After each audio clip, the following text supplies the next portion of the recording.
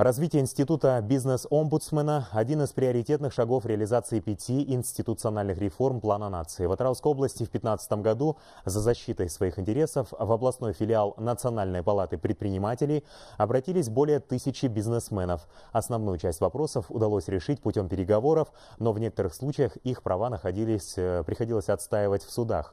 Тему продолжит Талгат Утигулов.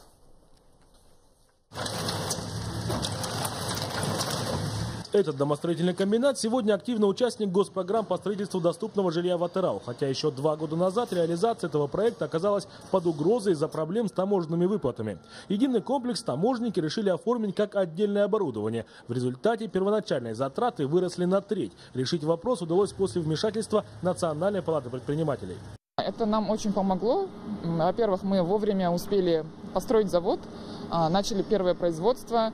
А, как предпринимателям для нас это оказало хорошую существенную поддержку в плане финансовой, финансовой части.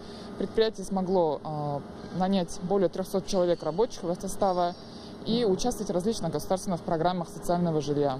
Дмитрий Сергеев вспоминает, что газовая компания предложила для подключения точку в 600 метрах от новой базы. Это при том, что ближайшая точка находится непосредственно на территории предпринимателя. 30 миллионов тенге. Именно столько нужно было потратить только на материалы. После обращения к юристам Палаты предпринимателей вопрос решился в пользу бизнесмена.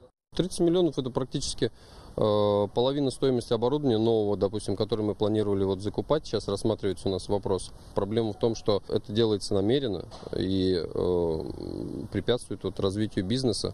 В то время, когда деньги можно было бы инвестировать в новые проекты, мы занимаемся тем, что просто подключаем коммунальные услуги. Это по своей сути абсурдно, конечно. Количество подобных обращений постоянно растет, констатируют представители Палаты предпринимателей. В первую очередь это говорит о доверии со стороны бизнесменов.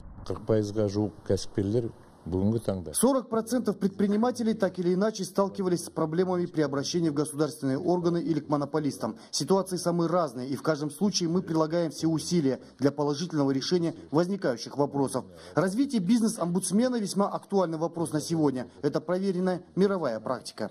Если основную часть разногласий удается решить за столом переговоров, то в некоторых случаях правоту предпринимателей приходится отстаивать в суде. В результате многим атырауским бизнесменам уже удалось сэкономить миллионы тенге. Талгат Утигулов, Азельхан Уахитов, Тимирал Султангазиев, Атырау, 24 КЗ.